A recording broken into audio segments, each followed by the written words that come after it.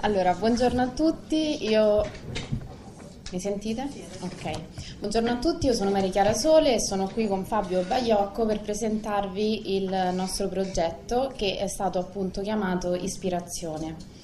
E eh, prima di entrare nel dettaglio delle singole fasi del progetto mh, ci vorremmo soffermare brevemente sul nostro servizio. Noi facciamo parte del DG Sina e ehm, è necessario fare questa breve premessa per capire come siamo riusciti eh, diciamo, a ideare su quali basi si è eh, costruito appunto il, il, progetto ispirazione grazie alle competenze tecniche che sono presenti appunto all'interno del DG Sina.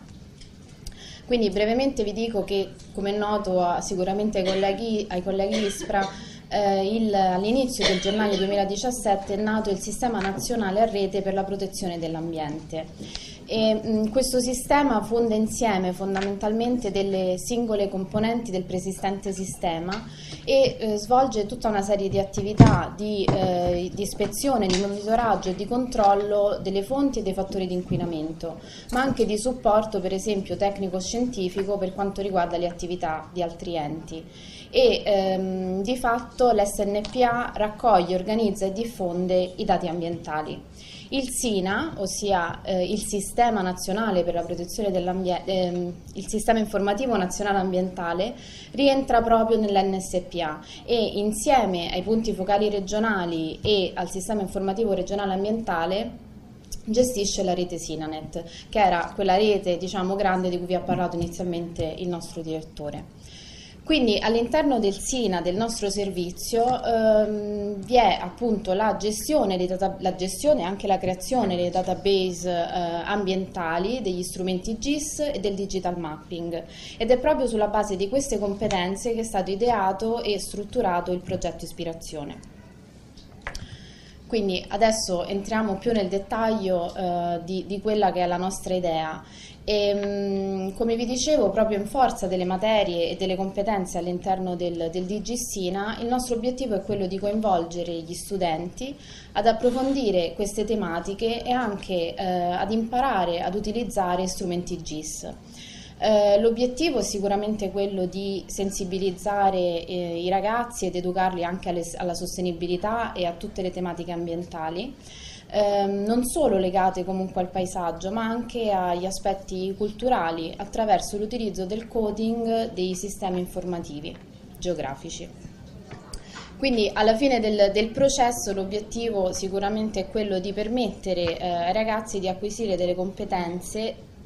sicuramente teoriche ma anche tecniche e pratiche per quanto riguarda appunto l'ambito progettuale GIS. Il programma è quindi stato pensato eh, in questo modo, ossia di una prima fase eh, più teorica, chiaramente per darvi le basi per, per entrare poi nel, in, una, in, una, fase invece più strettamente pratica. E, eh, quindi inizieremo con chiaramente l'introduzione del, del, ruolo di ISPRA e gli strumenti che ha a disposizione l'Istituto proprio per le rilevazioni ambientali. Eh, vi sarà eh, spiegato anche come, come funziona la geolocalizzazione e gli strumenti GIS per la raccolta delle informazioni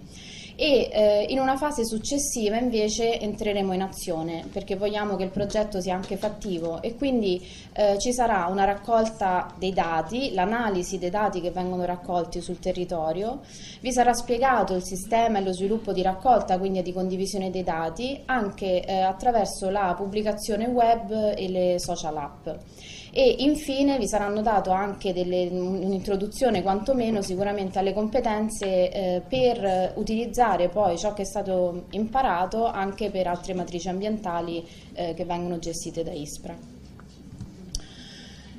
Il nostro percorso insieme quindi l'abbiamo pensato così, eh, vorremmo partire da una mappa eh, dell'abate Dolfino Venuti che risale al 1763, che è una mappa eh, di Roma, eh, di Roma all'interno delle mura aureliane. Ehm, ed è una mappa appunto che questo abate aveva, mh, aveva disegnato andando a rilevare, indicando, adesso probabilmente qui non si vede benissimo, però ehm, sono indicati punti di interesse eh, dal punto di vista storico-culturale ma anche paesaggistico. e quello che ci piacerebbe vedere è l'evoluzione di Roma, del territorio, rispetto a quello che appunto è stato visto nel 1763 e quello che invece siamo in grado di fare oggi. Quindi rivisitare questa mappa in chiave moderna. Ovviamente eh, per far questo è, eh, in primo luogo è necessario acquisire i dati, quello che appunto vi dicevo prima, tramite il sistema GIS. E quindi la prima domanda che ci faremo è quali dati vogliamo acquisire e eh, abbiamo pensato, la nostra idea, poi ovviamente lo vedremo insieme, è quello insieme, di... Durante il percorso decideremo quali dati poi acquisire veramente. Esatto, sulla base anche ovviamente di quelle che sono le preferenze, le vostre inclinazioni, perché eh, l'obiettivo è quello di andare ad analizzare il territorio sotto diversi punti di vista, sicuramente quello ambientale eh, che a noi appunto ci sta particolarmente a cuore, ma anche per quanto riguarda altri aspetti, per esempio quello storico-artistico, quello urbanistico, infrastrutturale, perché l'obiettivo finale sarà quello poi di avere una visione d'insieme appunto del territorio romano in questo caso, nonché eventualmente anche altri aspetti aspetti legati per esempio alla contabilità ambientale, quindi andare a vedere quanto ci costa per esempio mh, utilizzare un determinato mezzo di trasporto rispetto invece a fare quel percorso a piedi o in bicicletta.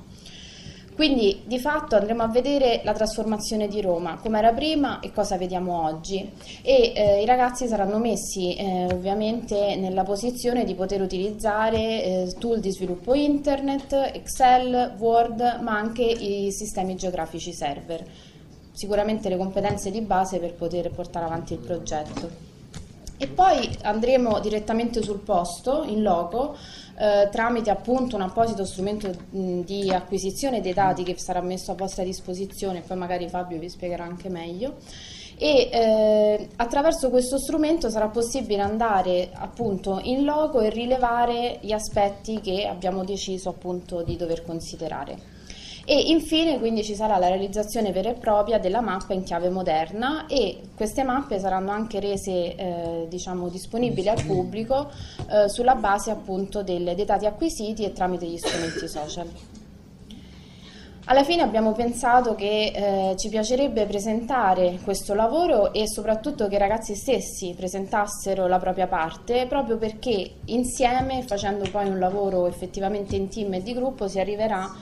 una, mm, al completamento del, del progetto e, eh, che porterà ad analizzare tutti gli aspetti del territorio che abbiamo, che abbiamo, considerato. E ovviamente il nostro interesse è poi diffondere il più possibile l'iniziativa e le buone pratiche che saranno utilizzate. Io vi ringrazio, forse Fabio vuole dire qualcosa? No, mm, fondamentalmente sarà proprio un lavoro di gruppo, insieme ognuno sceglierà la propria tematica e utilizzeremo in modo pratico veramente gli strumenti a partire dal semplice Excel fino alla pubblicazione su strumenti server. E questi dati poi verranno condivisi, analizzati e poi insieme durante il percorso vedremo come sviluppare al meglio la cosa. Tutto qua.